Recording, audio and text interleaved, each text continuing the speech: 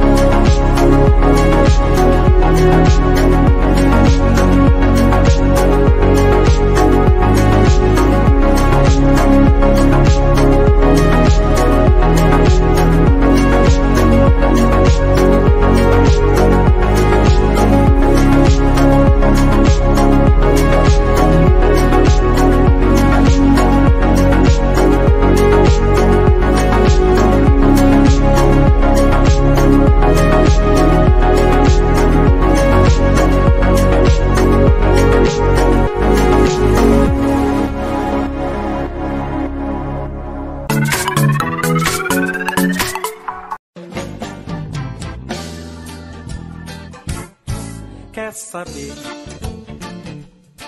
onde eu tô? Tô no norte do Brasil, eu tô em Macapá. Quer saber? Olá, me chamo Adela Lídia e atualmente faço parte do Laboratório de Química Computacional da Universidade Federal do Amapá, coordenado pelo professor Cleidson Breno. Eu sou formada em Biomedicina, sou mestre em Ciências da Saúde e doutoranda em Inovação Farmacêutica pela Unifab. No meu mestrado, eu trabalhei com nanoformulações provenientes de óleos essenciais de espécies vegetais cultivadas no estado do Amapá para o controle de vetores. Estou iniciando meu doutorado e continuo na linha de pesquisa sobre controle vetorial, que representa um grande problema de saúde pública, tanto para a região amazônica quanto para o país como um todo. O meu interesse em fazer pesquisas na região amazônica não se trata somente de obter títulos, mas também de obter produtos inovadores que possam beneficiar a população, sem prejudicar o meio ambiente, e a partir dos dados obtidos com meus estudos, poder agregar mais um pouco de conhecimento científico sobre essa região, que é tão rica e ainda tão pouco estudada. A biodiversidade amazônica sempre me despertou curiosidade e admiração Desde pequeno gostava de pesquisas e experimentos, e quando me deparei com a minha linha de pesquisa na pós-graduação, tudo se encaixou. Posso trabalhar com a valorização do potencial das espécies vegetais e ainda utilizar esse conhecimento para o controle de espécies, de vetores, que disseminam doenças por vezes fatais ou incapacitantes. Além disso, utilizando as ferramentas da química computacional, posso escolher os melhores compostos, prever possíveis efeitos negativos, me basear em compostos comprovados para obter alternativas, além da diminuição do uso de cobaias.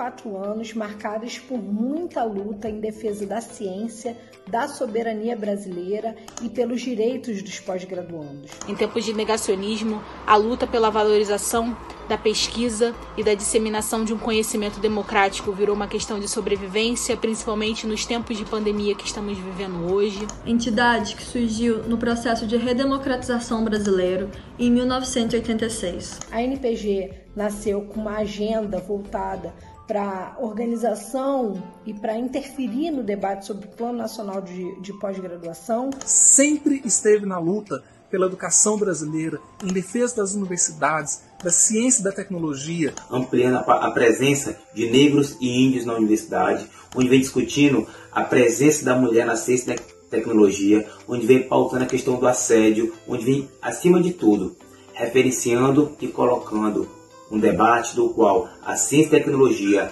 a inovação e a pesquisa devem estar a serviço do povo. É muito significativo entender o quanto a NPG ela se fortalece na medida em que a gente tem uma ampliação da voz das mulheres, das vozes da população negra, da população LGBT. Atualmente, as mulheres são a maioria entre as pesquisadoras e pesquisadores brasileiros. Contudo, ainda falta muito para a gente conseguir ter o mesmo reconhecimento sobre o nosso trabalho e conseguir ocupar o espaço acadêmico e científico da mesma forma que os homens. A NPG jamais se furtou da luta em defesa dos direitos e dos deveres das e dos pós-graduandos do Brasil. A gente sabe que a democracia é um elemento fundamental para o desenvolvimento científico e tecnológico. Não existe produção do conhecimento sem a liberdade de cátedra, sem a liberdade de pensamento. E quando a Constituição brasileira e quando a democracia brasileira está ameaçada, a ciência brasileira também está ameaçada. Os pós-graduandos têm sido fundamentais nessa luta de resistência. A gente tem se levantado contra os cortes de bolsa,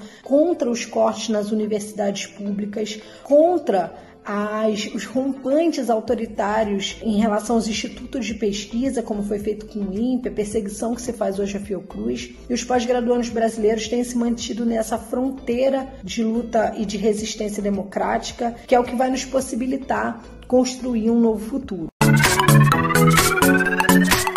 Olá, eu me chamo Carlos Eduardo Costa Campos, sou professor da Universidade Federal do Amapá, biólogo com mestrado em Ecologia e doutorado em Psicobiologia pela Universidade Federal do Rio Grande do Norte. Quando ingressei na Universidade Federal do Amapá em 2003, eu iniciei alguns trabalhos é, com levantamentos de anfíbios e répteis em áreas antropizadas, urbanas e unidades de conservação do Estado. Né? A partir daí dessas listas de espécies, de composição de espécies, né, nós conseguimos avançar um pouco mais em estudos relacionados à ecologia é, de anfíbios e répteis. É, atualmente, é, a gente conta com a parceria de diversas universidades, né, tanto no Brasil quanto fora do Brasil, e a gente está tentando é, fazer alguns trabalhos ecológicos né, relacionando a ocorrência dessas espécies né, listadas anteriormente com aspectos de história natural, é, descrição de novas espécies, né, descrição de girinos, morfologia. Né? Então, essa seria uma das principais áreas de atuação né, na qual eu desenvolvo trabalho com anfíbios e répteis. E a entrada é, no programa Bionorte ela só vem a somar né, com esses trabalhos que a gente já vem desenvolvendo, porque apesar do nosso estado, né, ele tem uma rica biodiversidade, ele ser um estado bastante preservado, é, nós aqui da Amazônia Oriental, né, do estado do Amapá, é, nós temos uma lacuna de conhecimento acerca de diversas espécies. Né? Então a entrada é, no programa no Bionorte, né, ela só vem é, a somar né, para a gente tentar preencher um pouco mais essa lacuna é, de conhecimento, né, principalmente no que tange aos anfíbios e répteis. Além de, é, de, trabalhar com anfíbios e répteis, né, eu também sou professor do programa de pós-graduação em Ciências da Saúde e desenvolvo uma outra área de pesquisa é, com acidentes é, com animais peçonhentos. peçonhentos. E aí, é, dentro dessa linha de pesquisa, né, a gente também está conseguindo é, fazer é, diversos trabalhos relacionados à epidemiologia, à soroterapia, né, dentro é, do programa de ciências da saúde. Mas, como dito anteriormente, é, o Bionorte é, vai oportunizar uma coisa bastante interessante né, para que a gente consiga avançar um pouco mais né, acerca é, de todo esse conhecimento incipiente que nós ainda temos é, sobre os anfíbios e répteis. O Núcleo de Biodiversidade do IEPA realiza estudos sobre flora e fauna. Entanto, especificamente sobre a flora, são realizados estudos na área de taxonomia, ecologia, fisiologia e anatomia vegetal, bem como estudos sobre sementes, manejo florestal. Juntamente com o herbário amapaense, é encontrado amostra de plantas que foram é, coletadas no estado e que representam parte da nossa biodiversidade. O herbário representa uma importância histórica e de pesquisa para o Amapá, é único no, no, no estado credenciado junto ao Index Herbariorum e dá suporte pa, para todas as instituições de pesquisas amapaenses. Especificamente no herbário, ele apresenta amostras de algas, plantas e fungos coletadas no âmbito do estado do Amapá, a qual representa parte da nossa biodiversidade. Juntamente com o herbário amapaense, sobre acrônimo AMAB, tem-se o Laboratório de Taxonomia Vegetal, que dá suporte para estudos sobre taxonomia e classificação de plantas, e o Laboratório de Manejo Florestal e Agricultura Familiar, o LAMAF, que dá suporte para pesquisas florestais no âmbito do Estado.